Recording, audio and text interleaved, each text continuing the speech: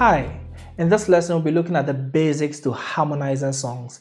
You may have, uh, you may find yourself in a situation where you want to try and harmonize a song. This may be a song you've written yourself or a song that is already out there, but you don't have access to chord charts or a record to listen to and try to figure out the songs. So I'm going to give you a few guidelines uh, that you can use to harmonize songs on your own. So let's get into it. Now, want to follow a few, uh, some of the basic steps for doing this, okay? Uh, my first step is always find the melody. So the melody is very important. Um, one one song we are going to use to practice will still stay in the key of C sharp. Okay. Uh, I give myself away. If you know the song, that's good. If you don't, just get the melody here and let's work together. Okay. So the melody goes like. Um, okay. So it goes uh, one, two, three, four. One, two.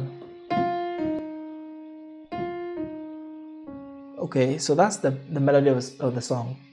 And if you're you know your solfege one uh, do re mi fa sol it's easier. Because in if you're using the numbers you would have said one four four four three three two one four four four three three three two three two one. Uh, I did quite well on that. I'm not used to that but you can say do fa fa fa mi mi re do fa fa fa mi mi mi re mi re do. I can easily remember this because it sounds like music already, right? Instead of the numbers. Okay, now after doing this, uh, your next step is you need to find the root notes or the bass line. Okay, so um, most one of the tricks is that most of the time the bass line is a third below the melody. That's 70 to 80 percent of the time. So um, in this the the bass line when uh, it goes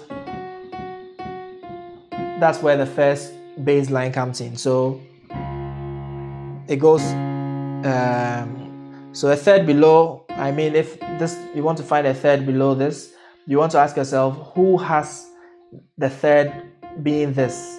So in other words you go two two steps back in the scale Okay, so the major scale for C sharp is okay. So you go two steps back in the scale, and that's that. Okay, so you try to play the the melody and the the bass line together. Okay, so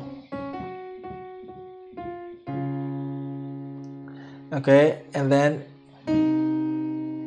okay, so on this one as well, I'm I'm placing the chords as at um, the one beat. Okay, one, two, three, four. Next chord one. Okay, so if you listen to the song, uh, the actual song, you hear that the bass guitar goes one. Okay, to the seven, then it goes to the six, five, four.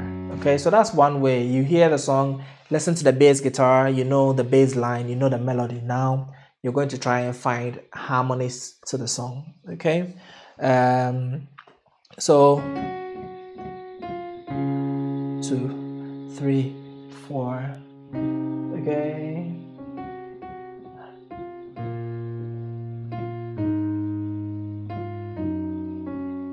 Okay. So uh, now let's look at the next step. So now you're going to find chord inversions. Now this is where inversions become very, very important. I have a couple of students who don't like to hear inversions. They think it's too, you know, tiring or tedious, but it's very important uh, that you know your chord inversion. So now on the first chord, it's a one. Now the bass note is determining what chord it is. So the bass note says it's one, so it's a one chord, okay? So you're going to play a one chord, okay? But then you're going to find, make sure that you invert it and have have the melody always on top when you're trying to harmonize these songs, okay? So instead of playing the one chord like this, uh, start with the basic one chord. I'm going to invert it into this inversion. Okay, so okay, and then uh, I go to the next chord. So where you need to find where the melody meets the where the melody meets the root note and whatever chord is this in this case you see that the seven is meeting with this chord. So it's a, you need to find a seven chord with the melody as uh, this two okay? And lucky enough for us our regular seven chord which is the sus2 of the two uh, five chord has that on top. So we are lucky okay? So okay and then you move to that. Now that's the next chord. It's a six chord with that on top and a regular six chord has that on top as well okay?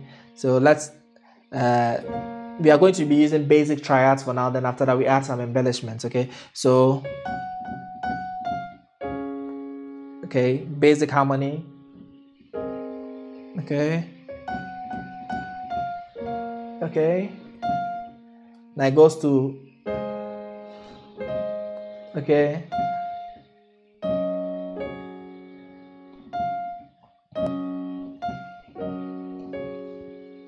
okay? It was a it went from the uh, three just went somewhere slightly before coming to the one. So you could play any chord with the with a this re or the two on top. You could play a five uh, five chord and then you bring it down to the four chord okay? So if we look at the next step you you want to try and play uh, the melodies in in between. So this that's what exactly what we did. So not every melody is going to meet up with a chord. So you play some melody and set certain melodies are going the certain parts of the melody are going to meet up with a chord. Now this is going to be a long lesson so bear with me because uh, it's a very broad topic okay? So certain melodies are going to meet up with uh, the chord. So that you need to take notes. Those that don't meet up you you play them in the middle single notes or you can use something I call six. Uh, that's called six, and that makes it uh, gives it a better sound. We'll try that as well. Uh, so you see, um, you're going to add the me melodies in, in between. So that's exactly what we did. So okay.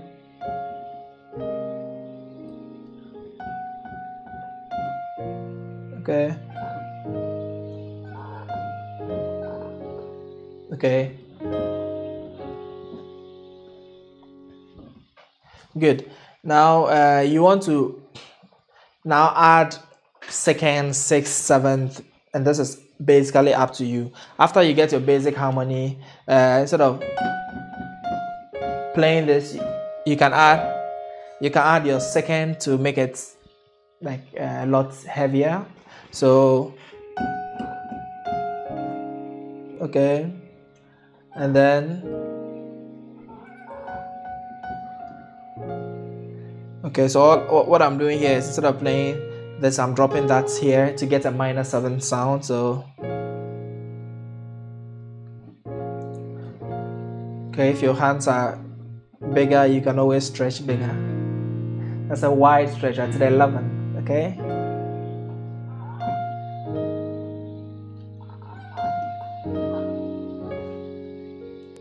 okay. To the four all I'm doing is playing like a, a bigger version of the four chord. Okay and I'm adding this on the bottom here.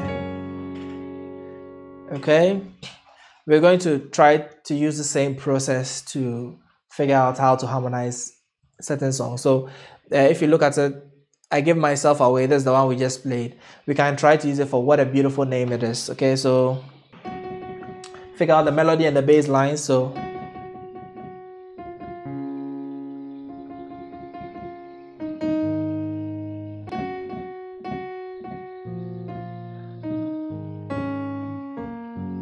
So you see, you need to get the timing of where the the chords are coming in and where the melodies. So some melodies are are friendly; they follow the chords.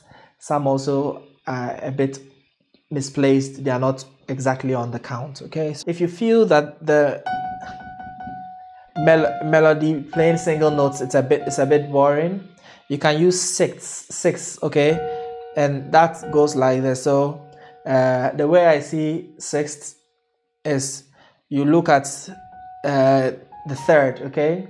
It's like an inverted third. So this is the melody.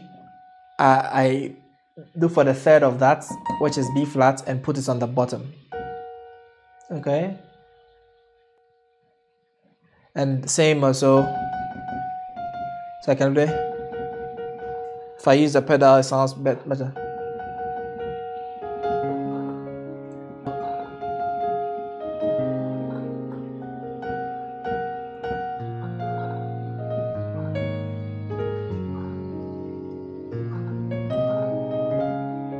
So now when you add these 151 or 152 left hand patterns, okay, you add them to it. So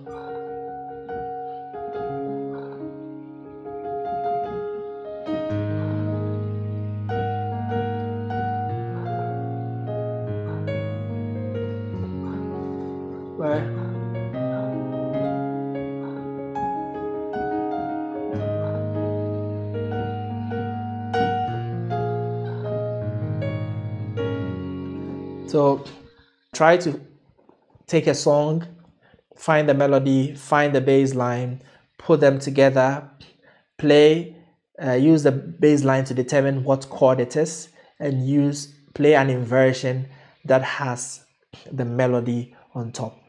So uh, thank you for joining me in this lesson, and I'll see you in the next lesson.